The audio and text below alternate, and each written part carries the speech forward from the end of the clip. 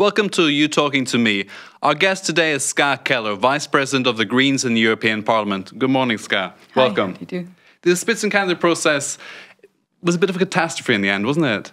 I think it was a great success, actually. I mean, one of the leading candidates has been nominated as Commission President. We'll see next week whether he gets a majority for that in the European Parliament. And uh, the whole process, I think, has moved us a step forward in European democracy. I mean, I was taking part as a Green candidate in that, and I really think it has moved forward the, the European debate, the way how people perceived European elections, but really also democracy in Europe. But at the end of the debate, many people said nobody voted for Jean Claude Juncker. What's he doing there?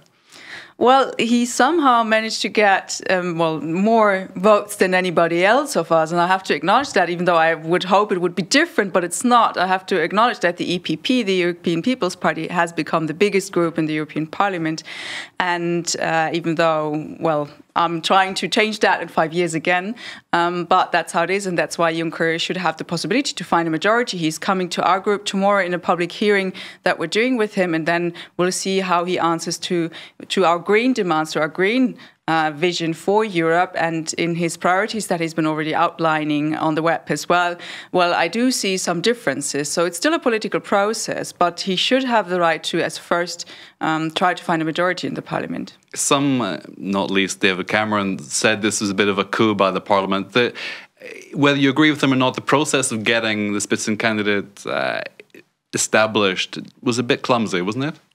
Which can surely be improved. I mean, it was the first time ever this was done and tried, so sure, next time we'll do it better. But to say it's a coup by the parliament is already, I mean, you know, how can the parliament, a directly elected institution in the European Union, um, how can that do a coup? I think it was rather the other way around. The parliament really tried to push forward European democracy, but then Cameron just simply said, I don't care about the election result. And that, I think, would have been a great problem for democracy in Europe if he would have prevailed if we would have won that fight. So I'm very happy he hasn't, and I'm very happy that we have this chance now to also really establish this leading candidate process so that next time it will be even clearer for everybody, including Mr. Cameron, who's going to be the next Commission President. What needs to be improved? Well, I think, for example, Mr. Cameron took, could take part as well in the whole process and nominate, well, not if himself, but his years. group, if he's still there, but his political group, uh, which he has split off from the uh, European People's Party, so he didn't have any influence. He could uh, either rejoin the Conservatives or at least have his own or for his own for his group his own uh, leading candidate. And uh, i think what can be improved further is that uh, it's like the heads of state the heads of government make clear beforehand that of course whoever's going to win is going to be nominated no matter whether no matter whether it fits their toys or not. And i also think we have to um, improve the European visibility of people. In some national media, for example, the debates weren't weren't publicized, they weren't uh, shown, and that I think is a big problem. Sometimes debates were reduced to Schulz and Juncker, um, as if the smaller parties wouldn't have a say at all. And then, of course, you end up with two people who basically say the same, who are now forming a sort of grand coalition in the European Parliament already. So I think it needs more diversity, more visibility, but also more commitment from all sides. But also, the, the media in general presented uh, Jean Claude Juncker's performance in the debates as mediocre at best, and, and some were just absolutely damning of his performance as though he, he couldn't care at times. Uh, is this the kind of uh, president of the European Commission that we should see at the end of the, these debates? Well, the thing is, I didn't vote for him, and surely he wasn't our candidate. So, yes, indeed, I don't want as such him to be the Commission president, but I have to acknowledge that he won this election. And maybe next time, when uh, the other groups also take their leading uh, candidate process more serious, then they will maybe propose other candidates who are uh, more up to the point. And but I mean, they chose Juncker I wouldn't have, but they did. He had a vote, he won it, and that's what we have to face with. We Greens, we had an open primary process for finding our two leading candidates, which is something I think the other groups might also consider copying. At the end, Jean Claude Juncker wasn't seen as having performed well, and uh, the process of selecting the candidates wasn't taken so seriously by some of the parties, maybe even by the EPP. Does this damage his presidency from the beginning? No, I don't think it damages it at all. I think the whole process has actually strengthened him. And it also has been very clear because, as you say, his performance in the debate wasn't, let's say, brilliant. But I think he's been really taking up that fight, defending the whole process vis a vis the heads of state. So I think he's been putting up a good fight there and he's been winning it as it looks now. I mean, we'll vote um, next week. So I think overall the process has been strengthened by the outcome. And, and I think that was also really necessary because, you know, what are elections for if in the end somebody completely else decides who's going to win? Do you think that the next election that the council will actually permit this process to go forward? I think they have no chance of getting around that anymore because the parties will set up the leading candidates. They will make very clear for what they're putting up these leading candidates. And uh, so I think really um, we have moved forward a step in Euro democ European democracy. It cannot be the last step. We need more steps like transnational lists, for example, in order to enhance the European dimension. But we cannot fall back behind this anymore. Okay, so assuming, as it looks, that uh, Jean Claude Juncker gets uh, the votes in Parliament next week, what should his priorities be? I think his priority should be, as a Commission presidency, uh, president, to get Europe out of the crisis, which we're still in the middle of. And he should do so by enforcing social policies, by ending austerity, and by really investing into the transformation of the economy and thereby also creating long lasting jobs, jobs for the young people. Do you think he understands any of those aspects?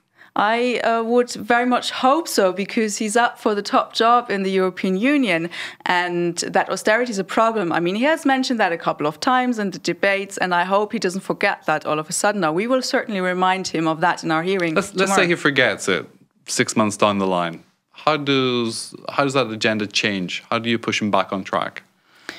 Well, the parliament, of course, has certain possibilities uh, to push a commission in the one or the other direction. We have the hearings with the commissioners uh, coming up where it's very clear how we can make points there. And if you remember, five, five years ago, the parliament did use its influence in order to have a change of uh, candidates for, uh, for a commissioner. So it does have a big influence, the European Parliament there. But also, when it comes to legislation, the Commission cannot work without the Parliament, the heads of state cannot work without the Parliament. So we have plenty of opportunity to remind Juncker and his commissioners all the time about the big problems we still have in Europe, all the big unemployment, the youth unemployment, the social crisis that we have, and the many other issues like the climate change talks coming up. When it comes to immigration, Juncker has been like also in the debate saying, yeah, we need legal ways of migration congratulations, I want to see that happen. But now in his paper, he already puts back in track like more border protection. I don't yeah, know exactly. what. so like, the idea that he's going to be able to meet the, the agreements which are set uh, over this week with the priorities with the political groups, it doesn't seem to have uh, much ring of truth about it for the longer term. So, do you think Parliament itself will become more aggressive and more activist in its uh, approach with the Commission this term? I would certainly hope so, but we shouldn't forget that Juncker is uh, the EPP candidate and he's following EPP programs. So I'm sure the EPP is going to be very happy with them, with him, and we're not. But we also have possibilities as a smaller group to push the Commission in another direction. So we're not helpless and we can't do anything about it, not at all. And we're going to press as hard as we can for a better Europe when you say it's, it's, an EPP program, really he has uh, just over 200 votes with the EPP itself. So it's a, it's a coalition program at the end. Do you think it'll really look like a coalition program if we looked at it in two years' time? I think it's a very interesting program that he has been drawing up. I mean, it's just whatever, a couple of points as his priorities. And yes, some he mentioned some social issues that for sure would resonate with the Social Democrats. Interestingly, he has a whole priority about UK, keeping the UK in, also mentioning the renegotiation of agreements, setting some red lines there, but not very concrete red lines. So it's very interesting how much he's already doing a coalition with Cameron, but of course also with the Social Democrats his uh, success at this point seems to owe more to the uh, the participation of the socialists uh, in uh, particularly Matteo Renzi, uh, perhaps. Do you think that uh, this will be reflected in his program? Well, he needs their support as well. So I think what he currently says or writes about um, about social welfare, about creating jobs, investment, that's supposed to ring in the Social Democrats' ear, ears as like something positive.